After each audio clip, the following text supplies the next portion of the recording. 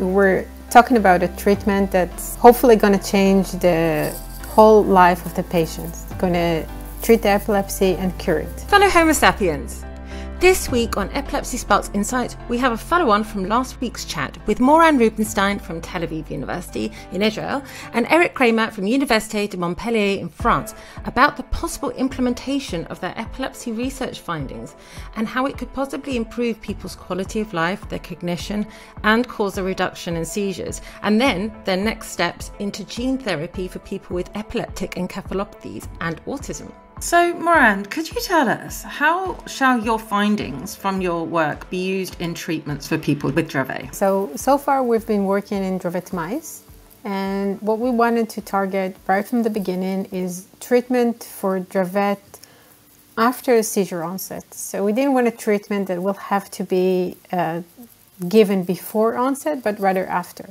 And we tested two age groups in the mice at the beginning when the seizure starts and also in older, mi in older mice after about two weeks that they had spontaneous seizures. In a mice, in, in a human that will be an equivalent to about two or three years. And what we saw is that we can inject this gene therapy in, in young mice and also young adult mice. And we see improvement in the epilepsy, we see reduction in the number of seizures, we see improved survival, we see reduction in the number of interictal spikes. We also saw improvement in global brain function, so that points to improvement of other comorbidities other than the epilepsy in Dravet.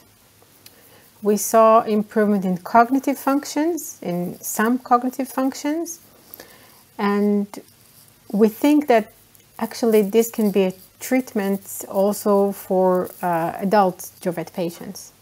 And that was something that was important for us to be able to give the treatment once the diagnosis is confirmed, so there's enough time to see how the seizure phenotype is developing, how the comorbidities are presenting, and then come in and correct it.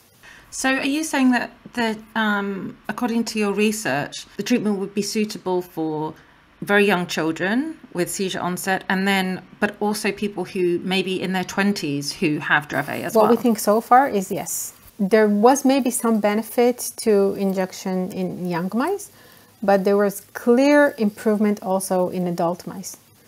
And I'm not sure that the larger effect in the younger mice was actually because we started the treatment earlier, because there, also, there is also the natural improvement in, in Dravet epilepsy over time.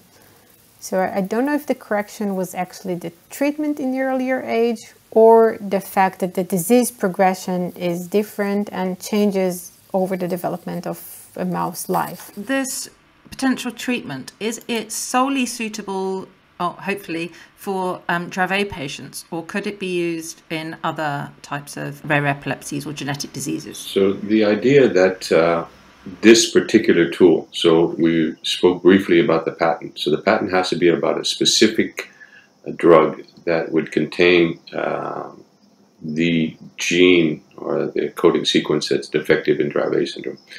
If you want to use these tools, these viral vectors, as drugs for other diseases, then you would have to change the sequence coding within the, uh, the, the, vector.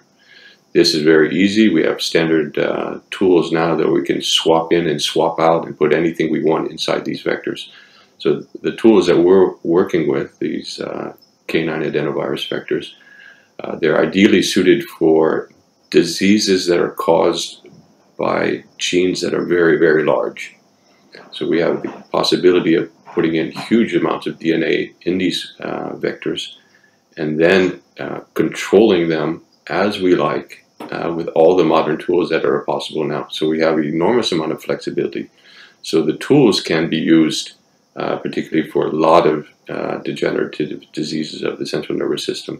This particular one is primarily targeted for Dravet syndrome. If you were going to alter the treatment, would you have to get another patent in order to do that? Uh, that's a very good question. Not necessarily. It would be an add-on on to this patent that's already uh, existing. So you would add, you know, different uh, um, claims in the patent.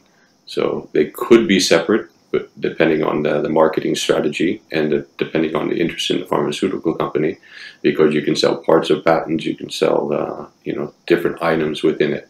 But um, you know this is this is not something that Moran or I uh, are involved in at any level. So the point really is that I my perception of this is that uh, pharma companies should be interested in um, your patent not solely for Dravet patients, but potentially for patients experiencing other rare epilepsies or neurodegenerative diseases. That's definitely true, yeah. In, in the case of, uh, they're called channelopathies because the proteins that make a hole in the membrane of the cell and allow certain ions to pass these are typically very, very large genes and they're involved in a lot of different disorders, including other epilepsies and autism also. So this is something that Moran and I are in the process of exploring also with that and another partner in the United States. That's really exciting. Oh, I shouldn't get too excited because because this is a really really long process, and I know we don't know if it's going to get to you know to the end after all these different tests and how many years it may take. But I'm sorry, I can't help it. I'm really excited, excited by your work. What about access to this uh, potential treatment? Can you give people a a sort of potential timeline? Is that possible? Let's start with the safety issues. We're talking about a treatment that's gonna be hopefully gonna change the whole life of the patients. Gonna treat the epilepsy and cure it. But we have to make sure that it's safe and we have to make sure that it's safe for, for the long term. So we did all of these controls in mice now and we injected this gene therapy treatment in uh, healthy mice and so far we didn't see any adverse effects. However, going from mice to treating patients, there is a long gap there. And within this gap, we have to make sure that the treatment is absolutely safe. So it's not immediate uh, and it's going to involve a lot of safety tests, a lot of further developments. Yeah, I would also add on to that the fact that, uh, as uh, as I mentioned initially, this is, is a beta version. We didn't expect this version to work so well and so quickly. So we think we can even make it better. So these are the, the things. So once we change this drug, even the smallest changes by targeting different populations of neurons. We'll have to go back and redo all the tests again in mice. We'll have to retest it in monkeys. We'll retest it in everything. So uh, we want to get the therapy that's the most suitable and the most powerful to do this one-off uh, type of approach because we believe or we hope is that once uh, the, the, vector is injected into the brain, that the other treatments uh, that the patients have to undergo can be reduced or eliminated. That's obviously the, the, the idea, treating the disease at the cause and not the symptoms. So we're going to be treating the, the problems with the connections with the neurons in the brain. We're going to stop the epilepsy, which in turn, all this excitement in the brain is causing the other problems downstream and all the other uh, cognitive effects. So uh, there's a long way to go. It's very complicated. Uh, we've had fantastic results so far, but we think we can even do better. So uh, we're at that stage now. So another thing to consider is that there is a huge size difference when we're talking about the size of the mouse of the mouse brain and the size of the child brain. And with gene therapy, there is no way that we can target all the neurons, not even in mice. So part of the work that we're doing now is trying to understand where we should inject this virus and what kind of neurons we have to hit in order to get this global effect. Eric had a great analogy for that. So the the, uh, the analogy that uh, Moran and I were speaking about before is that the brain is a village of 10,000 people. So if you can only uh, in, modify a certain number of the people in this village. Say you only have to modify 200 or, or 50. Who are the ones you want to modify? Do you want to modify the police? Do you want to modify the mayor's office? Do you want to modify the teachers in the school? Who is going to have the most influence in this community to affect the function of this village or the brain? Is it going to be the high school students? that are going to develop and integrate into the system later on. So these are, are the ideas that we still don't know. And this goes back to the idea of when to treat and how long uh, do we need to treat. It's not impossible that if a child is treated at one years old and he has uh, correction and no more epilepsy, that the downstream effects that are associated with the cognitive decline can be prevented. So our hope is, you know, to stop, uh, prevent, or cure the disease with a one-off type of approach. So it's uh, we need to know who we need to modify in that context, and that is the real question. We still don't know which population of people in this village will be the most influential to to modify. I really relate to a. I love your analogy because I've often thought, for instance, in my own specific situation, gosh, if I'd have had more effective treatment at a younger age, would that have potentially stopped my seizures, focal seizures, from becoming secondary generalized tonic clonic? and then mucking up my brain even further.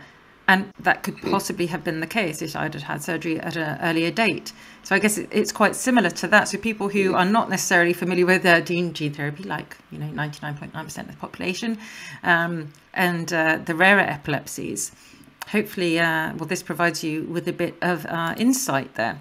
No, I, I, agree totally with that. This is these are some of the black boxes that uh, you know uh, Moran and her uh, group and uh, are trying to understand at the moment the, the, fundamental causes and the downstream effects of the initial seizure mm. induction. So mm. I'm just imagining in the future some really happy pa parents as well.